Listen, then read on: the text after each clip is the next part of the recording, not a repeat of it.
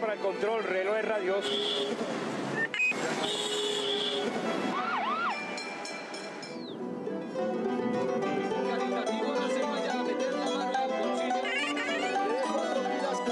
Bienvenidos a Directo Bogotá Televisión, un espacio para contar las historias más íntimas de la capital colombiana. Las motos y la velocidad son dos elementos que caracterizan la vida de Cristian Cajicá, un joven que heredó de su padre la pasión por la adrenalina, convirtiéndose en el primer piloto colombiano en participar del Rally Dakar. Son 9.000 kilómetros en 13 días. Siempre ha sido un sueño para los pilotos todoterreno.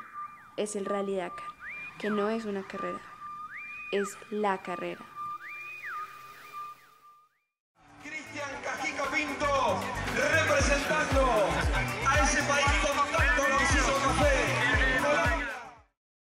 Y ese olorcito a café no podría sentirse más cerca que con Héctor Cajica, quien con el mérito de haber sido campeón nacional de motocross en los años 80 le heredó a su hijo Cristian la pasión por la adrenalina. Eso se lleva como en la sangre.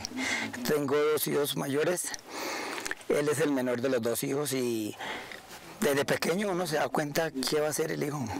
La bicicleta que no pudo acabar el mayor la acabó él en seis meses. Me metí en el cuento de las motos de aguas con él y esto, porque él quería correr, era lo de él, motos. Cristian nunca fue un niño común, nunca jugó al fútbol porque prefería las motos y la velocidad. Pero en los deportes extremos siempre existe la otra cara de la moneda, y quién mejor para contarlo que quien ha convivido con Cristian por más de 13 años, Margarita, su esposa. Cuando conocí a Chris no estaba tan en el extremo de los deportes como está ahorita. Es su trabajo que le acapara la mayor parte del tiempo. Eh, por su trabajo también Cristian viaja mucho, casi todos los fines de semana. Y ya viene el tema de los rallies, que ya son más días cuando son a nivel internacional. Y es que ser deportista extremo no solamente significa sacrificar tiempo en familia, sino también invertir dinero propio, pues es difícil conseguir un patrocinador para carreras de talla mundial. Todavía estoy pagando una deuda de banco del, Dakar, del primer Dakar.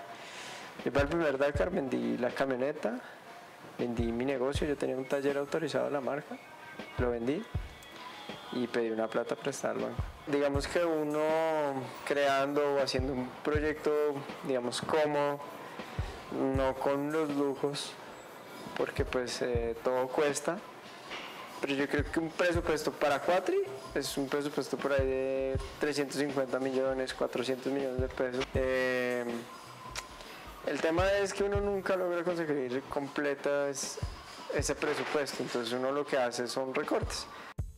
Yo sé que no es fácil, o sea, yo, yo entiendo que la gente se alarma cuando diga es que 350 millones de pesos es mucha plata.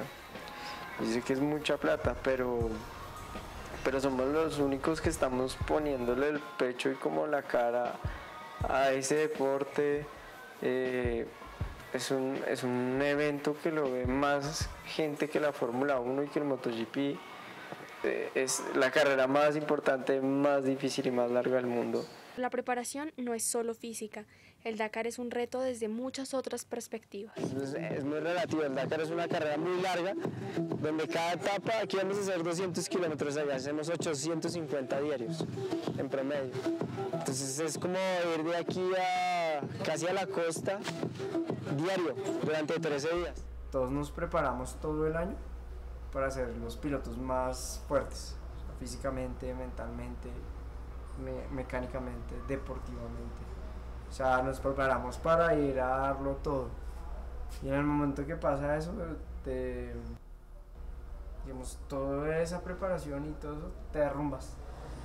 Te derrumbas y todos lloramos como niños chiquitos. Uno allá es donde realmente siente la banderita. Aquí uno no importa y escucha el himno. Y Allá si le lograran poner a uno el himno en, en algún momento hasta lloraría uno. Pero aún en la lejanía, extrañando a Colombia, hay algo que lo acompaña, es un recuerdo de su madre. Parece que aquí la mamá de uno es la que más sufre, ¿no? Entonces mi mamá siempre va el 20 de julio y me hace eh, bendecir. Mm, escapulario. Yo lo que hago es que lo, lo amarro al timón de la moto. Vives momentos tan no sé, como especiales, como tan marcados en tu vida con un aparato de estos que realmente uno como que le pone un cariño. Son tantos detalles y te quita tanto tiempo que generas un vínculo muy grande con un aparato. Eso es, eso es, eso es triste, pero pues es la verdad.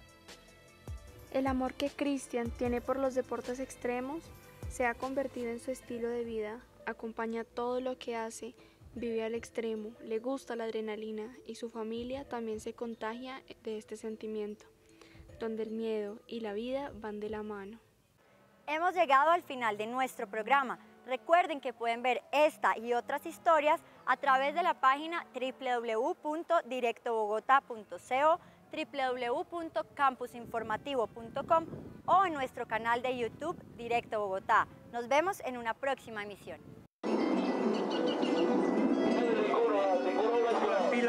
pila para el control, reloj de radios.